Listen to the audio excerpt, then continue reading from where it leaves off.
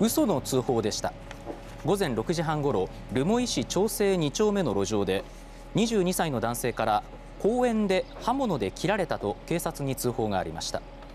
警察は男性から逃げた男の特徴を聞き近くの防犯カメラなどを調べましたが一致する人物が見つからなかったため確かめたところ